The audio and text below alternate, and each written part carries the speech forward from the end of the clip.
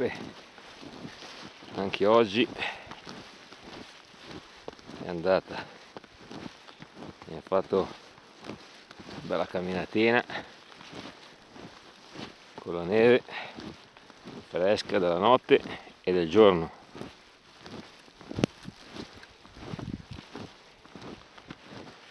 E nevica bene